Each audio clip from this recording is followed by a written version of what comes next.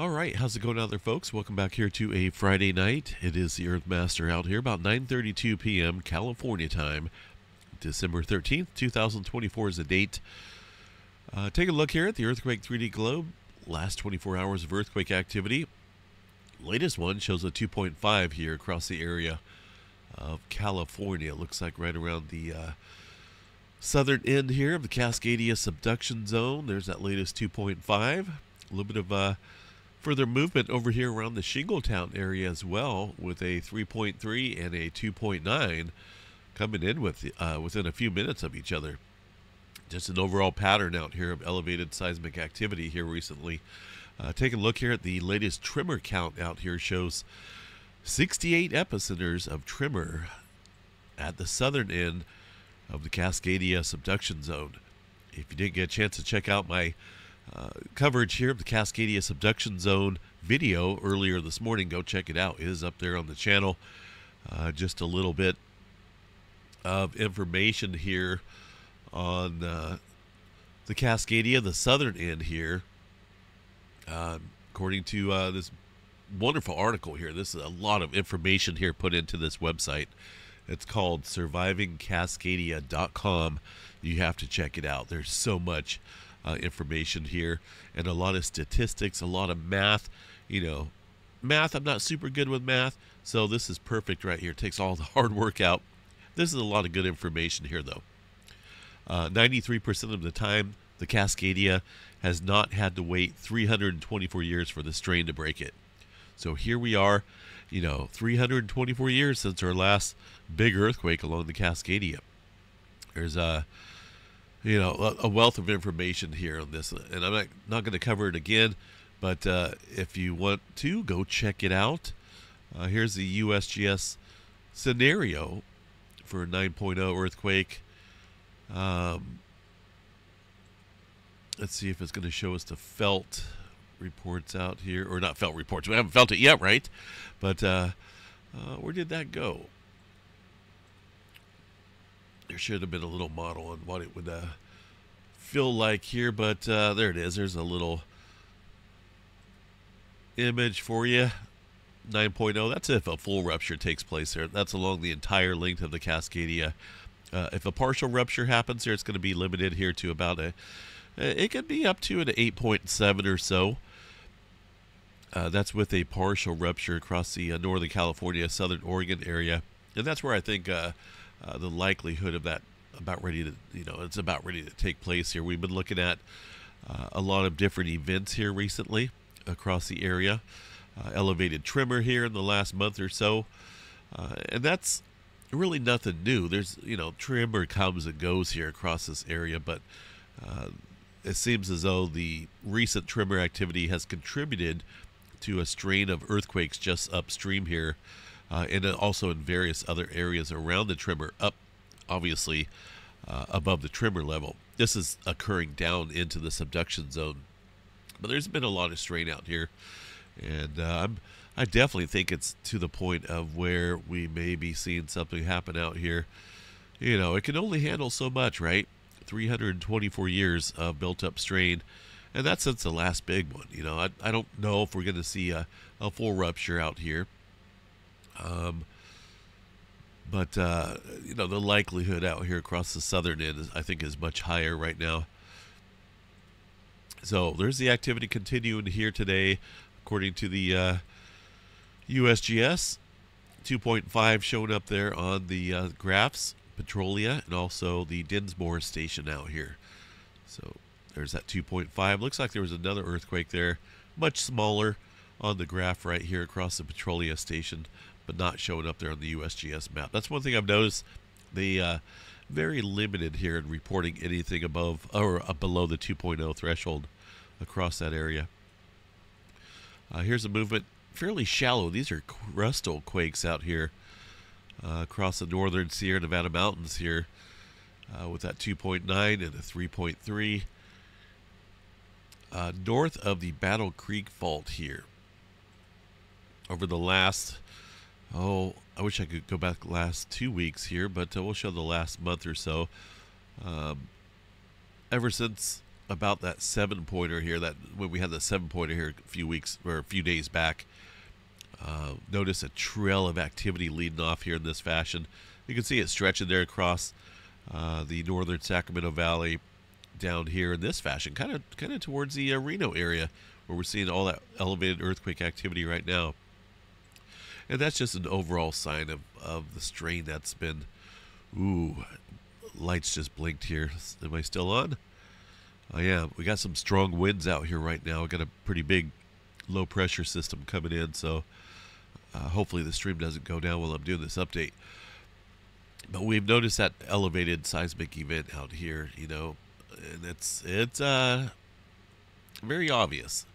Uh, there's a lot going on out here across this area. The Blanco fracture zone, seen a, a handful of decent sized earthquakes out there uh, throughout the last 30 days, elevating the seismic strain here across this area. Uh, quite a bit of uh, movement here across the Gorda Ridges here over the last few months. We checked that out in last night's update video, but I'm not going to do it right now. So still watching the southern end here of the Cascadia subduction zone. Even though the tremor count here was a little less, um, today's count was 68, a little bit less than yesterday's, uh, which was 287. That's still in the same area, though, across the southern end of the Cascadia. That's definitely been a ramping up out here in the last few weeks. Uh, movement up into the Oregon area. How would you pronounce that? Molalla? Is that right? I guess that's right, or Molale. Uh, kind of hard to pronounce that because I have a cold. I can I can't breathe out my nose right now. Somehow I picked up another cold. It seems like this is the winter of just getting sick continuously. Goodness, I, it's crazy. Uh, some movement up around Idaho and the uh, area around the Sawtooth Fault System. Let me get back here in Southern California. I didn't really check this out down here. See if we got anything of any major value going on tonight. Uh, look at the 2.5 map and above. 2.5 and above map. There's a 2.6 there in the Ridgecrest area, but that's about it. Most of the movement here, very small microquake activity out here in the area with uh, no major swarming. No unusual activity to note there across the southern portion of the state for now.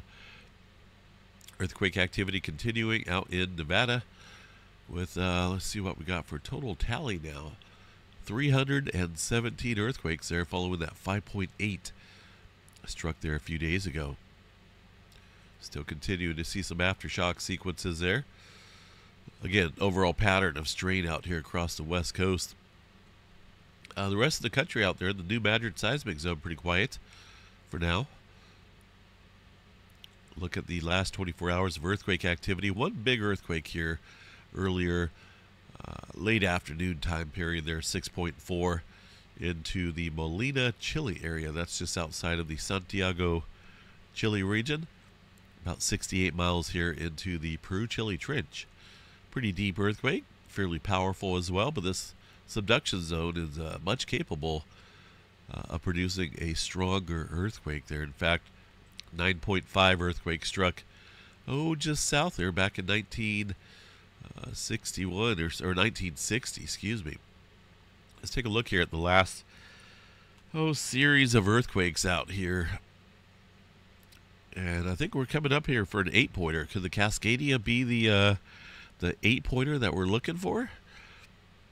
good chance. So there's uh, four. Wow, that's a lot of earthquakes. Maybe I should have went with a little less than a 7.5, but that's a lot of earthquake activity here. Uh, there's the 9.5, the Great Chilean earthquake, right? That's a. Uh, let's see where that's at. Okay, so a little way south uh, from today's earthquake, that 6.4. That 9.5 strikes struck right there back in 1960. That was a big one. That's the biggest ever earthquake recorded in human history, at least in our recorded history.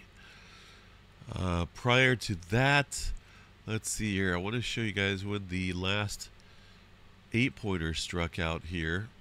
And we have to go back to about 2021.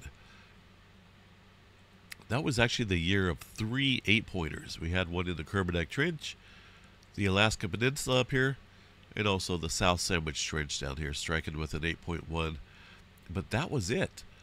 Uh, since then, we've seen a number of sevens, but uh, we're missing an eight pointer. And I say that because, well, we're supposed to have an eight pointer every year, maybe if not every year, every other year. And here we are almost into 2025 with no eight pointer. So uh, it's coming. Uh, the question is where. You know, it's it's very possible it could be the Cascadia. Down here across New Zealand, a handful of earthquakes there. Uh, nothing major going on. Looks like a 4.7 into the southern end of the Kermadec Trench. There's some shallow activity there across the Vanuatu region. Japan area remains pretty quiet here. Not a whole lot of elevated activity in that region for now. Uh, so still kind of focusing here across the eastern Pacific uh, for some further movement. Uh, there's an earthquake way down south here into the South Sandwich Trench, a little 5.3. That's at the extreme southern end, it looks like. Here's the last 30 days of elevated earthquake activity there across that subduction zone. Filling in here across the southern end a little bit uh, with that more recent 5.3.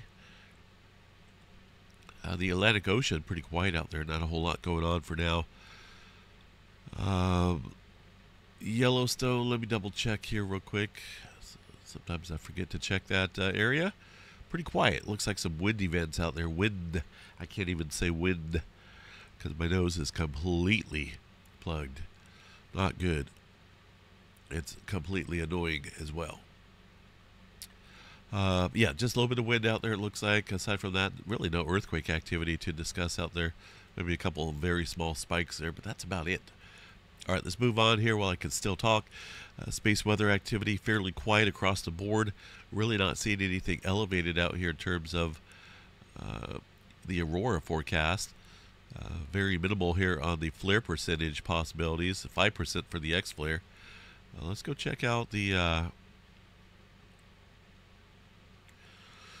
Oh, the Space Weather Prediction Center folks here. See where I'm at. I think I passed it here. Um, oh, there we go.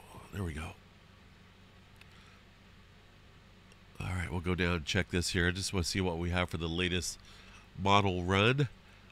Um, there was a number of CMEs recently uh, that had kicked off. Earth here in the green. Uh, looks like there's some plasma clouds headed this direction. Really nothing big around the 17th here in about four days or so. But uh, looks like maybe a little bit of elevated plasma density up here from uh, looks like a small amount there of uh, plasma shot off from the sun. But aside from that, really nothing major going on there for the uh, Aurora forecast. Uh, nothing major in terms of severe weather. And for uh, the GFS model run here this evening, still seeing uh, some earthquake or earthquake activity. Still seeing some uh, rain out here across the west coast. Got quite a bit coming in actually here right now. Pretty windy. So I'm hoping the storm or the uh, stream will stay up. That will continue overnight and throughout the day tomorrow and Saturday. Yeah, it looks like we'll have another system here coming in early next week for the west coast. A little bit of rain out there across the Ohio area, some colder air back behind that low pressure. And aside from that, let's see what else we got as we put this into motion. Looks like a newer storm system here coming in to the west coast around the 21st time period. That's uh, some some good news. Got some uh, more precipitation coming this way. Looks like a bunch coming this way, so I'm okay with that. Big time storm system up there across the Great Lakes area. We'll cover that as we get a little bit closer to that time period. That's almost in 2025. Goodness. All right, I'm out of here, folks. I'm gonna have fun trying to sleep tonight. You know, it's just it's it's not good. I might try a little hot shower, see what happens here, but it's it's weird. I'm telling you, it's something that something's in the air. I don't know if it's in the food. You know, I don't go out a lot, so you know, as far as my social interaction goes, so I don't know where I'm picking this up at. But uh, pretty crazy. I've had enough of being sick this year. All right, have a good one. We'll catch you guys back out here in the morning for the Saturday morning update. Stay safe out there, folks, and of course, be prepared. Okay, uh, if you didn't get a chance to watch that my update video this morning on this uh, Cascadia possibility, go check it out. Or if you want to read specifically yourself, uh, this article is called SurvivingCascadia.com. Well written, super well written article out here.